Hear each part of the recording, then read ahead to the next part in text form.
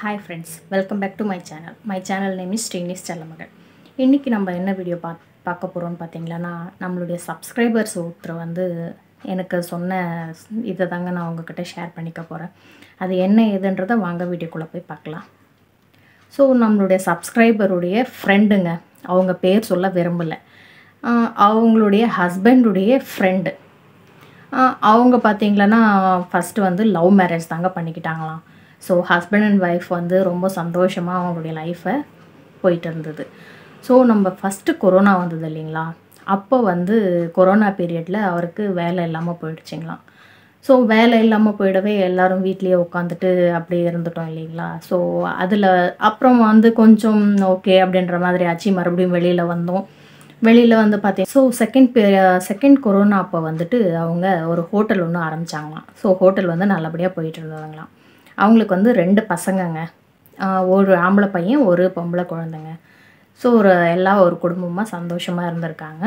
So second corona period வந்த உடனே மறுபடியும் லாக்டவுன் போட ஆரம்பிச்சிட்டாங்க. ஸோ அந்த லாக்டவுன் பீரியடில் என்ன பண்ணாங்க? எல்லாமே க்ளோஸ் ஆகிடுச்சு ஹோட்டல் மட்டும் எப்படி ஓடும் சொல்லுங்கள் ஸோ ஹோட்டலும் க்ளோஸ் பண்ணிகிட்ருக்காங்க ஸோ அப்போது ஒரு நஷ்டத்தில் அவங்க விழுந்திருக்காங்க.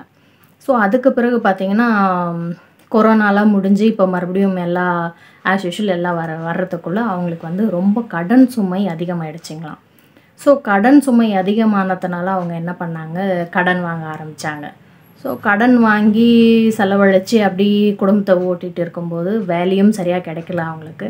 ஸோ வேலை கிடைக்காத சூழ்நிலையில் கடன் வாங்கி செலவு பண்ண வேண்டிய சூழ்நிலை வந்தது. ஸோ அங்கே இங்கேன்னு சொல்லிட்டு கடன் வாங்கி இது பண்ணிகிட்டு இருக்காங்க.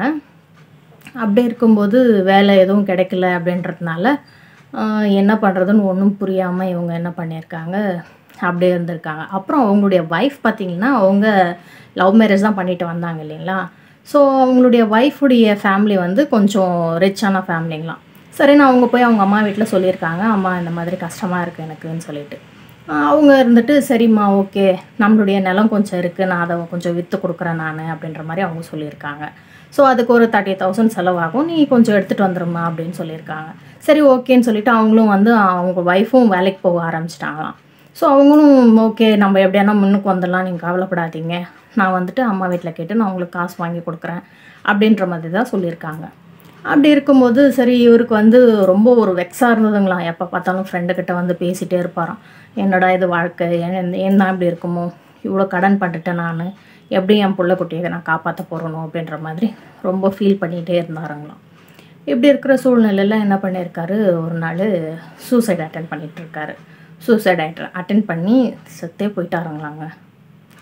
ஸோ எதனாலன்னு பார்த்தீங்கன்னா கடன் வாங்கினாங்க இல்லைங்களா? ஸோ அந்த கடன்காரங்க வந்து வீட்டு முன்னாடி வந்து ரொம்ப அசிங்கப்படுத்திட்டு போயிட்டாங்களாம். தகாத வார்த்தைகளால் பேசி அவருடைய மனசை வந்து ரொம்ப நோகடிச்சிட்டு போயிட்டாருங்களாம். ஸோ அந்த மாதிரி நோகடிச்சிட்டு போனதுனால இவர் அசிங்கப்பட்டு என்ன பண்ணியிருக்காரு? சூசைட் அட்டன் பண்ணிகிட்ருக்காரு ஸோ அந்த பொண்ணு பார்த்திங்களன்னா லவ் மேரேஜ் பண்ணி இவரை நம்பி வந்த பொண்ணு அது. ஸோ அவங்களுக்கு ரெண்டு பிள்ளைங்க இருக்காங்க. ஸோ அந்த குழந்தைங்கள பார்த்தீங்கன்னா நாலு வயசு குழந்த ஒன்று எட்டு வயசு குழந்த ஒன்றுங்க ஸோ கேட்கவே ரொம்ப கஷ்டமாக இருந்தது.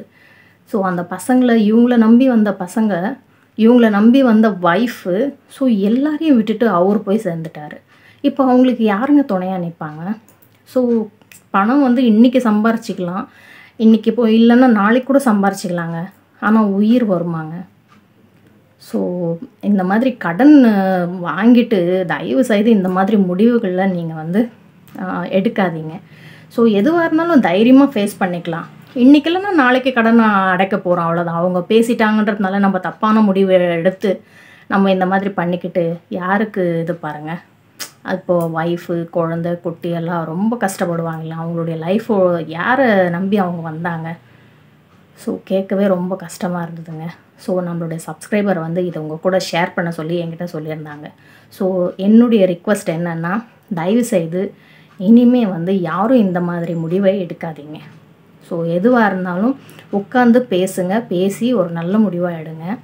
இந்த தப்பான முடிவை மட்டும் தயவு செய்து எடுக்காதீங்க. பணம் காசுன்றது வந்து இன்றைக்கி இன்னைக்கு இல்லைனாலும் நாளைக்கு சம்பாரிச்சிக்கலாம். ஸோ அவங்க பேசுனாங்கன்றதுனால நம்ம இந்த மாதிரியெல்லாம் முடிவு எடுத்துறேன் எப்படி சொல்லுங்கள் ஸோ அதனால் நல்லா யோசித்து ஒரு நல்ல வாழ்க்கையை வாழலாம். ஓகே ஃப்ரெண்ட்ஸ் என்னோடய வீடியோ பிடிச்சிருந்ததுன்னா லைக் பண்ணுங்கள் ஷேர் பண்ணுங்கள் சப்ஸ்கிரைப் பண்ணுங்கள் பக்கத்துலேயே வர பெல் ஐக்கானை கிளிக் பண்ணுங்கள் நன்றி வணக்கம்.